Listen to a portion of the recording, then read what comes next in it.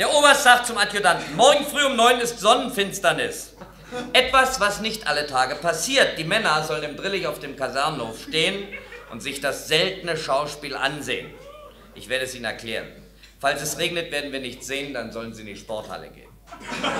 Der Adjutant sagt zum Hauptmann, Befehl vom Oberst, seltenes Schauspiel. Morgen um neun ist Sonnenfinsternis. Wenn es regnet, kann man sie vom Kasernenhof aus nicht sehen, dann findet sie im Drillich in der Sporthalle statt.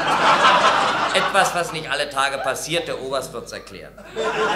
Hauptmann zum Leutnant, Schauspiel vom Oberst, morgen früh 9 Uhr im Drillich, Einweihung der Sonnenfinsternis in der Sporthalle. Der Oberst wird's erklären, falls es regnet, natürlich nur selten als Wert passiert jeden Tag. Der Leutnant zum Feldwebel. Seltener Schauspielbefehl. Morgen um neun wird der Oberst im Drillich die Sonne verfinstern. Wie es alle Tage passiert in der Sporthalle, wenn ein schöner Tag ist, wenn es regnet, Kasernhof. Feldwebel zum Unteroffizier. Morgen um neun Verfinsterung des Obersten im Drillich wegen der Sonne. Wenn es in der Sporthalle regnet, was nicht alle Tage passiert, antreten Kasernhof. Sollten Schauspieler da sein, sollen sich selten machen. Gespräch Gespräch unter den Soldaten. Hast du schon gehört, wenn es morgen regnet?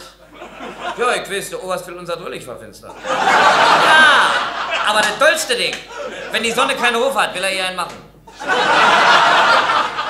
Schauspieler sollen Selter bekommen. Dann will er erklären, warum er aus... Augenblick mal eben, ja? Augenblick mal eben. Dann will er erklären, warum er aus rein sportlichen Gründen die Kaserne nicht mehr sehen kann. Schade, dass das nicht alle Tage passiert. Wundern Sie sich jetzt noch, Augenblick mal eben, wundern Sie sich jetzt noch, warum auf den Truppenübungsplätzen die Manöverbeobachter nie voll getroffen werden?